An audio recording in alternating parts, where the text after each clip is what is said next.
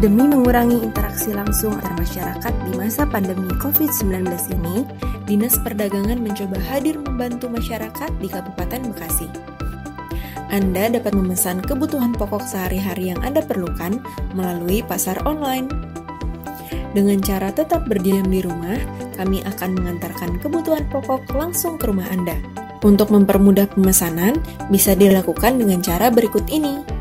Langkah pertama, ketik pasaronline.bekasikap.go.id, lalu tekan Enter. Klik pasar terdekat dari rumah Anda, lalu klik barang yang Anda butuhkan. Selanjutnya, hubungi penjual di nomor telepon yang tertera. Penjual dapat dihubungi melalui telepon dan WhatsApp. Selanjutnya, tinggal tunggu barang diantar ke rumah Anda dengan metode pembayaran tunai. Informasi yang lebih lengkap dapat diakses di laman www.disperdak.bekasikap.go.id.